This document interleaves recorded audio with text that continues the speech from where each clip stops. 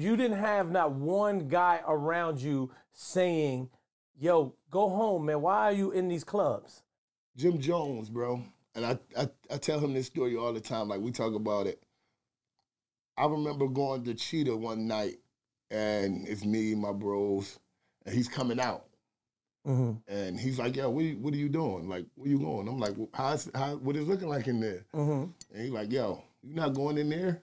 You know what I mean?" He's like, "This shit gonna be here when you when you get to where you're supposed to be." Mm-hmm. You know what I mean? He, and I, I swear to you, every time I see him, we chop it up. I bring up that story because he like one of the first people mm. that ever was like, "Yo, nah, you ain't going in here because it, you you need to be getting ready to try to do mm-hmm. something with yourself." You know what I mean? And I respect him highly for that. You know what I mm-hmm. mean? Because he was he was like one of the only ones. Mm-hmm. Wow. So salute to Jim Jones. Nah, I, for I'm sure. glad For I sure. would big up Jim Jones for that. He's a friend of the friend Don't of give um, Lenny those chips.